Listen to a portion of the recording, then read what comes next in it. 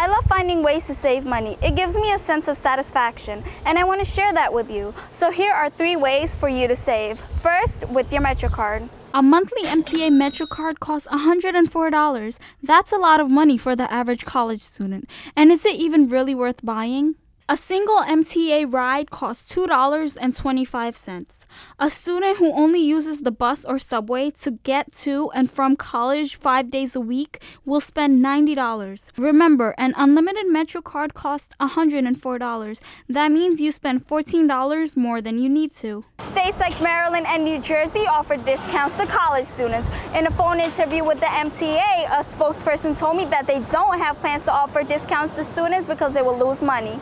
Save smart on your smartphone by downloading free apps that offer coupons. I like the Coupons app. It's got a coupon for practically everything, including clothing and food.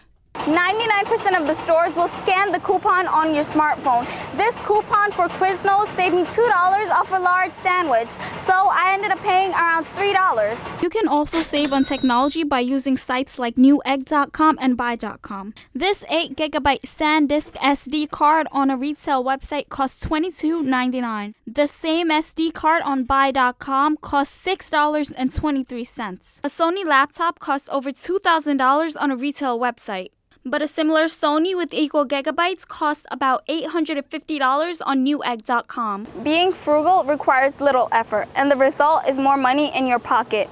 I'm always on the lookout for ways to save, and I hope to share more tips with you soon.